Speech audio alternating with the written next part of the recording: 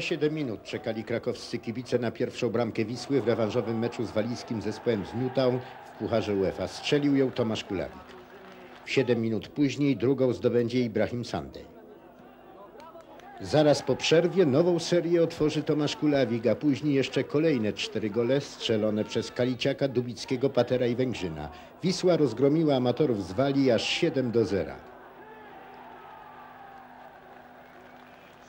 Już po dwóch minutach meczu z tureckim zespołem Trabzonsport krakowska Wisła zdobywa pierwszą bramkę. Podający Misiński strzelcem Daniel Dubicki. Pierwszy mecz rundy wstępnej Pucharu UEFA rozpoczęła Wisła w znakomitym stylu i styl ten utrzymywała przez całą pierwszą połowę. Efektem przewagi krakowian jeszcze jedna bramka strzelona przez Tomasza Kulawika. Do przerwy 2 do 0 dla Wisły. W 41 minucie z boiska za brutalny faul wyrzucony został piłkarz gości Abdullah, ale to grająca w przewadze Wisła nieoczekiwanie straciła bramkę. W 66 minucie Chorwat Wugrin Sam poradził sobie z całą krakowską obroną. Odpowiedź Wisły była jednak zdecydowana. Najpierw rozerwał obronę Turków Kaliciak, piłkę dograł Niciński i na 3 do 1 strzelił Tomasz Kulawik. A w kilka minut później ponownie Grzegorz Kaliciak dokładnie dośrodkował i czwartą bramkę dla Wisły, a kolejną trzecią dla siebie zdobywa kapitan zespołu Tomasz Kulawik. Na 5 do 1 dla Wisły ustali wynik meczu Bogdan Zając z podania Grzegorza Patera.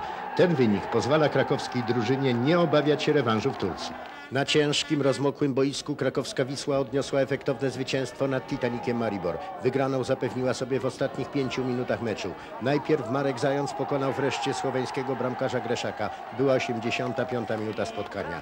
90 minuta. Rzut rożny z przeciwnej strony i po centrze czerwca po raz drugi skutecznym strzelcem obrońca Wisły Marek Zając.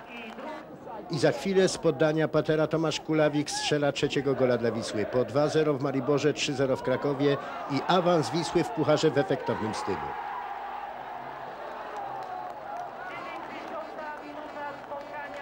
Zaczął się ten mecz paskudnie dla krakowskiej Wisły.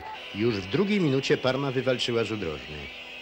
Argentyńczyk Juan Veron uderzył tak chytrze, że piłka po włosach Enrique Kiezy wpadła Sarnatowi do bramki.